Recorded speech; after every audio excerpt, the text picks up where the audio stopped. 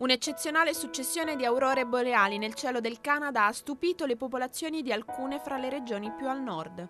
Una danza di luci nel cielo, l'aurora boreale, uno spettacolo che lascia a bocca aperta.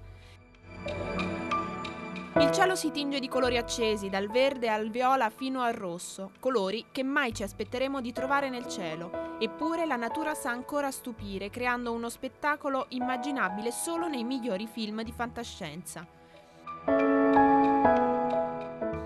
Secondo i vichinghi l'aurora era dovuta ai riflessi del sole sugli scudi delle mitiche valchirie, mentre per gli Inuit, un gruppo di eschimesi, era dovuta alle scie lasciate dalle capriole fatte dai bambini mai nati. In realtà le aurore boreali sono una tempesta solare provocata dall'impatto di particelle di elettroni e protoni nel nostro campo magnetico.